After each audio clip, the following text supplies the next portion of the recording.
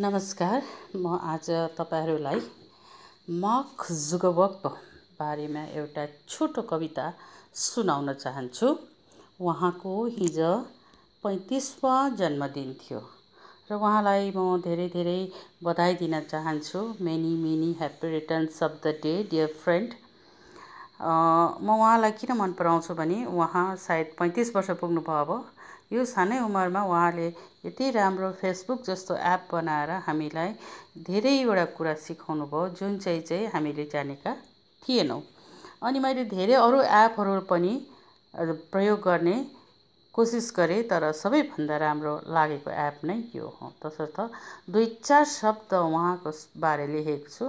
सानो कविता त्यो म हजुरहरूलाई सुनाउन चाहन्छु। मार्क साथीको महत्त्व बुझाउने फेस र फोटोको समूहले विश्व इतिहास कोर्ने खेल खेलमा नयाँ तकनिकी सबै उमेरका साथीहरूलाई सिकाउने तिमी सानै उमेरका महान व्यक्ति म ठान्दछु।